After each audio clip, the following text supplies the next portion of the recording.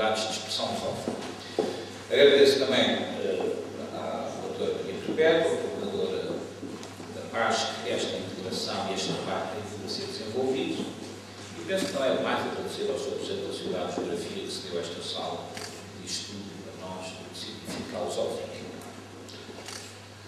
Também uma saudação especial para além dos meus companheiros de mesa, aos representantes das comunidades lusófonas que irão falar no curso desta sessão. O que eu vou dizer, por um lado, é que lusofonia é uma palavra que talvez tenha devido a ser substituída. E esta afirmação aparentemente chocante vou tentar substanciar. Vou indicar a minha comunicação da lusofonia à lusosfera. E, embora tenha aqui as minhas notas escritas, vou seguir aos minutos, que é o tempo Vou uh, apenas respirar o que me parece de maior interesse para dizer que, de facto, se foi a expansão, a fundação e a expansão de Portugal, que foi a pré-condição de nós falarmos da lusosfera, naturalmente que essa circunstância histórica que está sempre mais ou menos presente em nós é do passado. Esse abraço armilado, foi assim que chamou o professor Alberto alguém também tem muito a ver com esta sociedade de geografia, é que permitiu, através da circunnavigação, que nós vemos representada neste belo planisfério, levar, digamos assim, o homem como animal de trocas, tanto de bens materiais como de bens culturais pelo mundo. E a consequência desse processo foi, de facto, a emergência deste espaço plural e policêntrico de povos, de Estados, de igrejas e de comunidades, isso que é a luz ao céu. Penso também, pensam outros, o fundamento desta realidade não é só acreditar que valeu a pena, uma palavra que valeu a pena existir, Portugal, vale a pena, e mais concretamente, valeu a pena o existimento desde a criação dos senhorios de conquista, navegação e comércio, como eram chamados. O fundamento dessa rede também não é apenas saber que esse relacionamento entre as várias parcelas da lusosfera ao longo das fases históricas foi sofrendo uh, ajustamentos desde o tempo colonial até o atual, é importante perceber que o fundamento daquilo creio que estamos a falar é que foram os descobrimentos portugueses que abriram a via para a globalização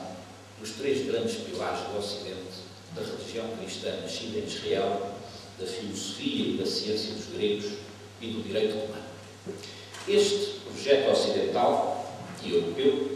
ganha expressão numa altura em que Portugal era já um país adulto, quando a Europa, por assim dizer, tinha estados ainda adolescentes, uh, com guerras intestinas, e foi através do saber de experiência feito que nós levámos o Ocidente ao resto do mundo. Esta realidade, a meu ver, está na base do que nós podemos chamar três segredos, digamos assim, da lusosfera. A lusosfera, sem ajeitar o termo lusofonia, mas ele é apenas uma das suas expressões, a fala. A lusosfera é, por um lado, uma comunidade de afetos, é, por outro lado, uma comunidade de cidadania e é, por outro lado, uma comunidade de interesses, mas em graus muito diferentes, com desafios que têm que ser permanentemente identificados e com uma integração que ainda não é evidente, apesar de já existir um instrumento político supranacional internacional, que é CPLP. Os Osferentes, mais uma comunidade de afetos. E isso sente-se, e nesta sala estarão pessoas ainda mais experientes, experientes do que eu nesse aspecto, porque nós visitamos qualquer um dos países da Lusosfera. Porque não é só a visita de encontrar lá velhos amigos ou de fazer novos com alguma facilidade. É que se sentem nas referências, quer brasileiras, quer dos países afro-lusófonos, quer de outros territórios, no caso Timor, é mais do que evidente, sente-se que a presença portuguesa, com todos os seus eventuais malefícios, na soma e na ponderação dos prós e dos contras, venceram os prós da presença portuguesa. Que, precisamente, os instrumentos jurídicos portugueses lá deixados, uh, os recursos culturais, a a capacidade do português de fazer circular os tais bens materiais e culturais, a começar alimentos que dão volta ao mundo por nossa via, tornam uh, o Lusosfera uma comunidade de afetos. E a facilidade com que uh, a canção ou a telenovela brasileira entra em Portugal. O acolhimento, por exemplo, que as novas gerações de fadistas conseguiram renovar, porque era uma velha canção urbana e torná-la, por assim dizer, de fado, uma canção, e agora, enfim, património mundial, mas de expressão, eh, de expressão mundial, uh, uh, as receitas culinárias que dão uma volta ao mundo e que fazem com carinho tenha sido levado pelos portugueses para aí e que ainda por, por assim dizer, espalhado, tal como o chá tem a sua história, tal como o milho, toda essa enorme gama de produtos alimentares que nós transformamos através das culinárias dos vários países lusófonos, tudo isso cria uma gama de afetos que, mesmo que não haja grandes progressos na nososfera está sempre lá presente e faz a circulação entre as pessoas e aquilo que elas se interessam. E esse impacto é tão grande que já chegou uh, fora do próprio circuito, chamemos lusófono. Quando, por exemplo, um cineasta como Vinho Vendas, premiado, filma a história de Lisboa com as letras dos de Deus, ou quando António Tabucchi leva, escreve, leva ao cinema, do Marcelo Mastroianni, o seu livro Filho Pereira, esta presença da lusofonia ultrapassa o estrito espaço dos países que lhes pertencem, mas passa a ser um agente mundial da tal presença cultural de todo o Ocidente. Em segundo lugar, a lusosfera é uma comunidade de cidadania. Há pouco, o professor Gentil Martins e bem falou como objetivo, agora remoto neste momento, é a criação de uma cidadania lusa, do passaporte luso ou lusófono, quiser chamar. É claro que é um objetivo relativamente remoto, porque como toda a decisão normativa inspira-se em princípios que podem entrar em conflito entre si, como seja, por um lado, o direito à segurança pode implicar o direito à liberdade de circulação, abrir as portas à imigração, chocar com o princípio do direito de asilo. Mas este objetivo remoto não pode ser perdido de vista, porque os tais afetos que estão na base uh, da lusosfera continuam a fazer o seu trabalho. E cada vez mais se sente que uh, a necessidade de que os vários tipos de cooperação, que desde o 25 de Abril, uh, a parte de um pequeno intervalo, digamos, traumático, rapidamente se restabeleceram, a começar pela cooperação militar, está aqui na sala alguém que foi responsável por isso, passando depois para a cooperação académica, para a cooperação da saúde.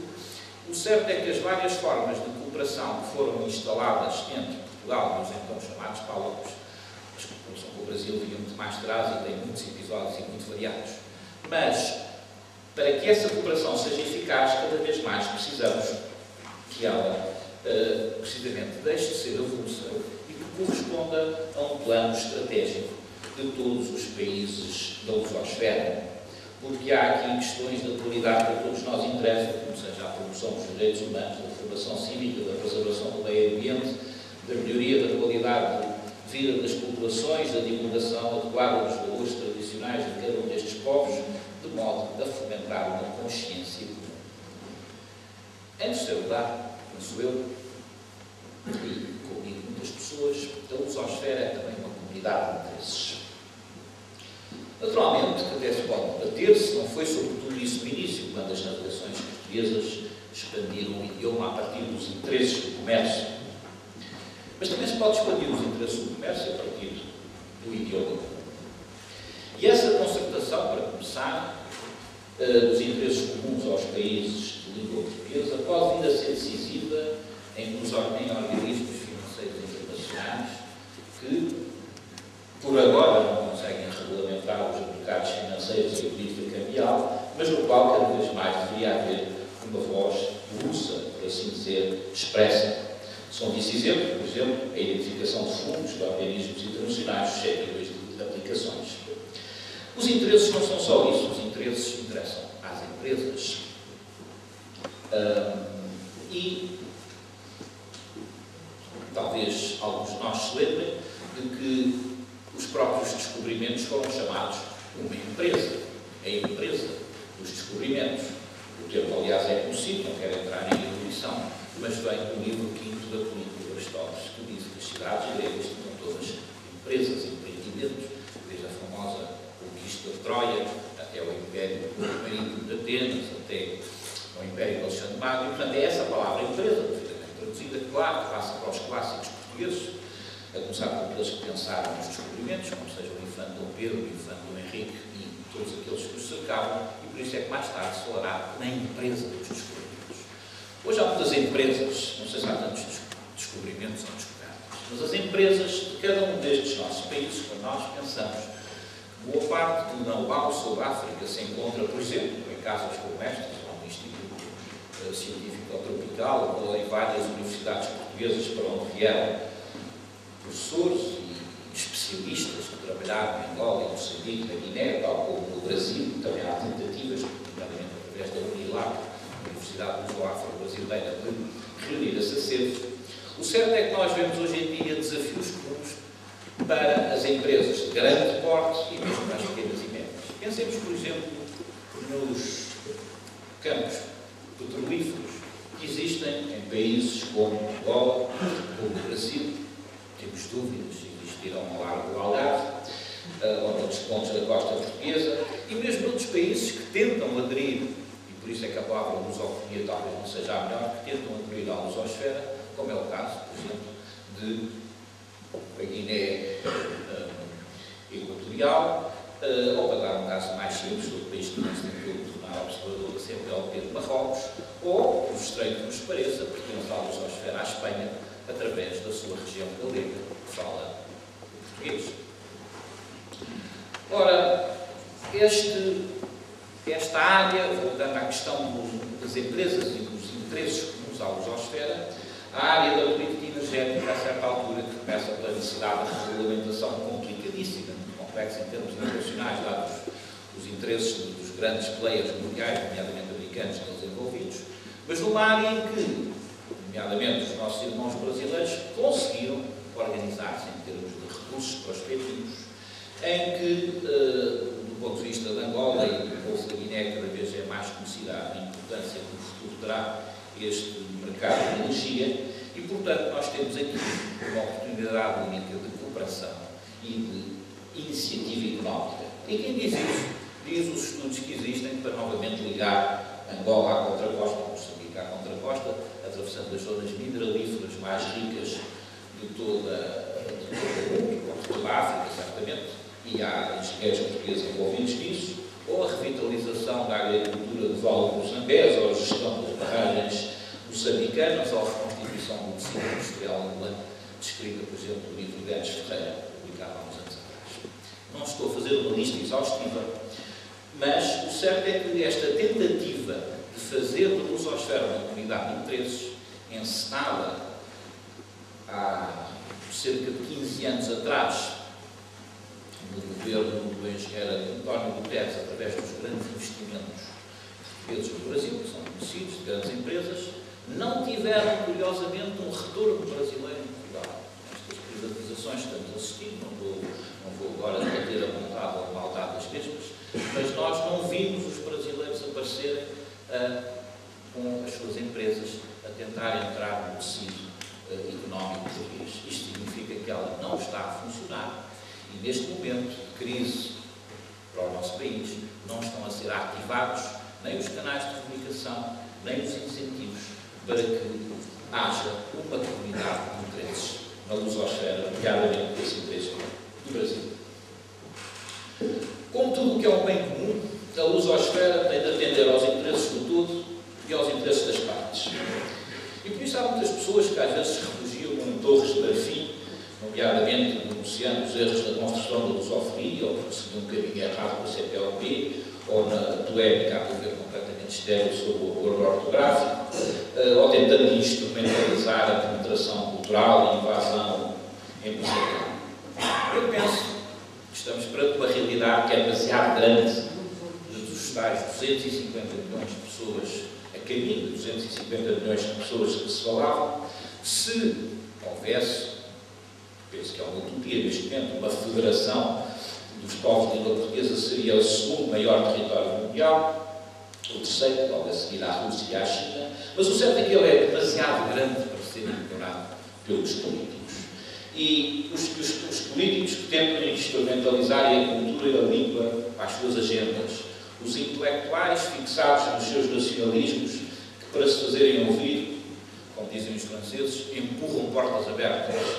os empresários que pedem boleia a políticos para proteger os seus interesses são três tipos de protagonistas que não nos interessam. Estamos, como quero mais referir, numa crise que não é apenas económica ou financeira, embora sejam esses os seus contornos mais agudos possivelmente uma esfera mais imediato, mas uma crise cultural e moral da tal civilização nós levámos através da globalização e ajudámos a levar e que abrimos o caminho vários quilómetros.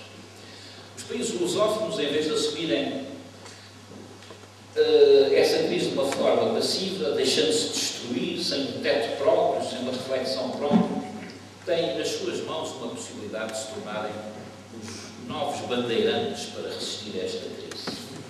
Estamos certamente numa fase da história em que os fundamentos que deram origem à grande árvore da civilização ocidental foram descolados, as suas raízes estão sendo tocadas, e em vez de nos preocuparmos com o que deu vida a esta árvore, estamos a cerrar o próprio ramo em que nos encontramos. Penso, contudo, e creio que não estou só nisso, que depois desta insónia podem vir várias formas de renovação. Enquanto o espírito europeu pode envelhecer,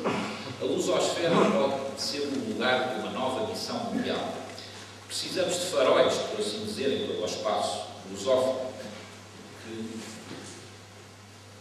conjuguem modernidade e tradição, maternidade e filiação, a importância do indivíduo e a importância da comunidade. Na fase de desenvolvimento em que nos encontramos,